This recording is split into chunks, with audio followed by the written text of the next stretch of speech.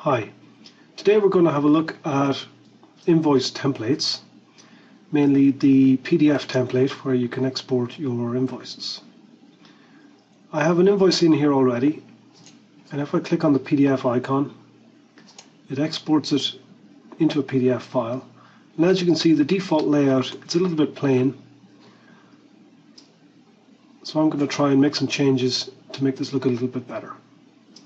So I'm going to close that one and I'm going to go into settings and then invoice template. Now in here I have several options. The first thing I'm going to do is I'm going to choose my company logo. I've made one already.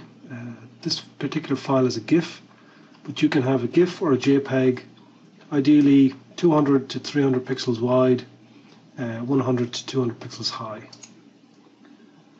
And now I'm going to hit the upload logo button there we go, my logo has been uploaded into the system. Next I'm going to choose my font, so I'm going to choose Times Roman.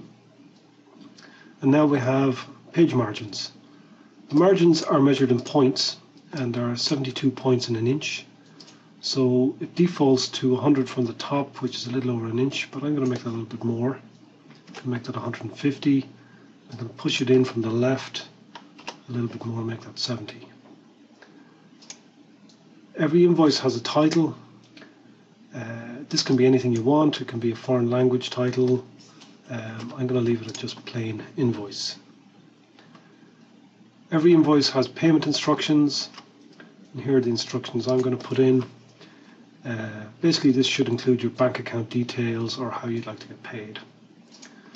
And now I can also add some footer text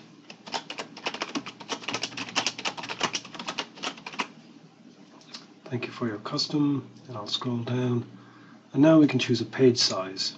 So I'm going to change to letter. And if you have a PayPal account set up already, what you can do here is you can choose that PayPal account and it will show a link on the bottom of the invoice. I'm not going to do that just now. So I'm going to save that template. And if I go back into my sales and click on the same PDF link, it's going to export a new PDF using my new settings. So we can see now it's been pushed down from the top a little bit more. I have my company logo, it's in times, and I have my payment instructions and my footer text. Thank you.